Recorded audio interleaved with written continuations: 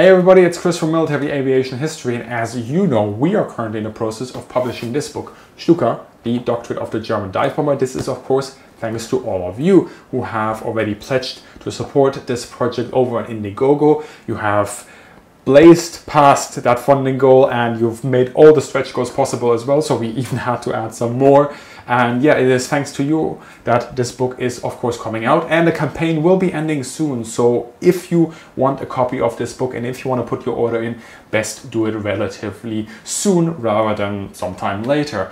You can do so, of course, by following the link in the description below or by going directly to stukabook.com. But what I want to do now is, as a little bit of a special thank you to all of you, take you through the official dive bombing procedure of the Ju-87. Now this information comes straight out of the manual and even though dive bombing seems relatively straightforward, right? I mean, you have an aircraft, you push the nose down, you go towards your target, you drop your bombs and you pull out and that's the job done.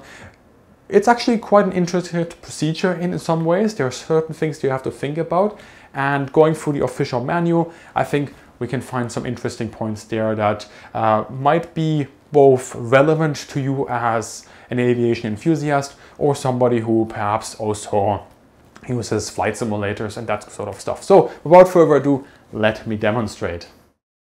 For this I will use the Ju-87D3 which is available in the IL-2 Great Battle series with the Battle of Stalingrad module. This will give us a close approximation, at least from a visual standpoint, on how to dive bomb. There are some minor differences when it comes to the dive attack compared to other models like the B2, but nothing that concerns us now. After flying to the target area, the first thing we need to do is identify the target. Here we're going to be attacking a ship. We can see that it is heading along the coast from the northwest to the southeast. Using the coastline as a heading reference, we fly towards it until nearly perpendicular to the target. We want to approach from its stern to make it easier to aim our bombs and prevent us from exceeding the maximum dive angle of 90 degrees should we have misjudged our timing. Of course, here I am in the ideal scenario where time is not an issue. Turning towards the target, we make a note of its position parallel to the coast. Here the distinctive coastline as well as the lake next to it give us a handy reference point for the approximate location of the ship. It doesn't travel that fast after all, so remember this as we turn the nose to fully obscure the target. We open our bombing window and follow the course towards the ship. If necessary, final adjustments to the aircraft's trim are made now. The manual actually recommends a slight nose down trim so that you require less manual input during the dive. We would then engage the arming sequence, set the bombs to dive bombing, choose the desired bomb pattern and whether we want a delay or not. Although not all of this is modeled in IL-2 and it also really depends on the bombs we're using. Anyway, I'm just using a generic single 500 kilogram bomb for this demonstration. Now I will take you through the pre-dive sequence as written in the manual. This is relatively simple and although on first look might appear as a long list of things to do, it can be done very quickly so there is no real timing requirement on whether you can already see the target or not. You set your RPM to a maximum of 2250 RPMs per minute or lower. You then set your contact altimeter to the desired drop altitude. Depending on your aircraft's weight and your dive angle, a Ju-87 usually requires a pull-out radius of between 300 to 900 meters, including safety margins. So depending on target, target altitude, weight and altitude, you set this contact altimeter to either a setting previously agreed upon or your own very personal one. You verify that the supercharger is set to automatic. And then as we get closer to the target, you turn on the siren which came with an on-off switch in the D model. Except that I don't have sirens installed. Usually the dive bomber units had a rather poor opinion of these and often would not fit them unless explicitly ordered.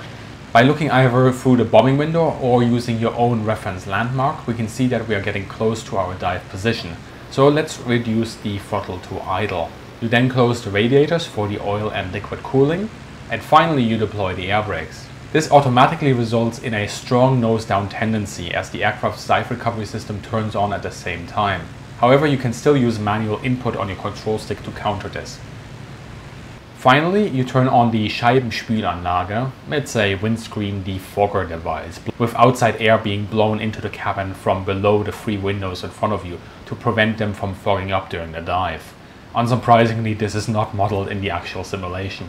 And as you are ready for the dive, you push the aircraft's nose down in one smooth controlled motion. You could also roll in, it's a personal choice, although rolling in helps you if you have already overflown the target and wish to return directly into the direction you came from in the first place. In popular memory, the Ju-87 has this image of coming straight down at 90 degrees. In reality, the angle depended on target, altitude, weather conditions, experience, target size, and enemy defenses, and they could be as shallow as 40 degrees against relatively unprotected targets. Here I am opting for a close to 90 degree angle though. As I'm lucky with the weather conditions and don't need to compensate too much, I aim the plane into the ship's path. Minimal adjustments to roll and yaw can still be made, but should be done as soon as possible. Sometimes this is required to compensate for any sort of drift. Keep the plane steady and have an eye on your speedometer. You should not be going over 550 to 600 kilometers per hour. 250 meters above the altitude you set into your contact altimeter, a warning sound will turn on. It will sound until you reach desired altitude, usually 2 to 3 seconds. Once it turns off, you drop your bombs. I have mine on a delay fuse. Depending on the Ju-87 model, this would initiate the dive recovery automatically. This returns the starboard trim tabs to a neutral setting, making recovery easier. However, you still need to pull yourself and level out the plane. Once level, retract the air brakes, increase RPMs to 2400, throttle up to 1.25 ATA and open the radiators. And it looks like we scored a hit. Alright, so that's how you dive bomb with a Ju-87 straight out of the manual. Granted, in simulations like IL-2, the official way might not always be the best way, but overall, this gives you a good approximation of what it would have looked like in reality. Remember to check out our new book, Stuka, The Doctrine of the German Dive Bomber, for more information on the Ju-87. It comes with a fantastic collection of translated primary sources, for example on the roles and the organization of the Sturzkampfgeschwader, the dive bombing units, a dive bombing manual, experience reports from pilots, and with plenty additional reference information. Check out stukabook.com and secure your copy before the campaign ends. As always, thank you very much for watching, have a great day, and see you in the sky.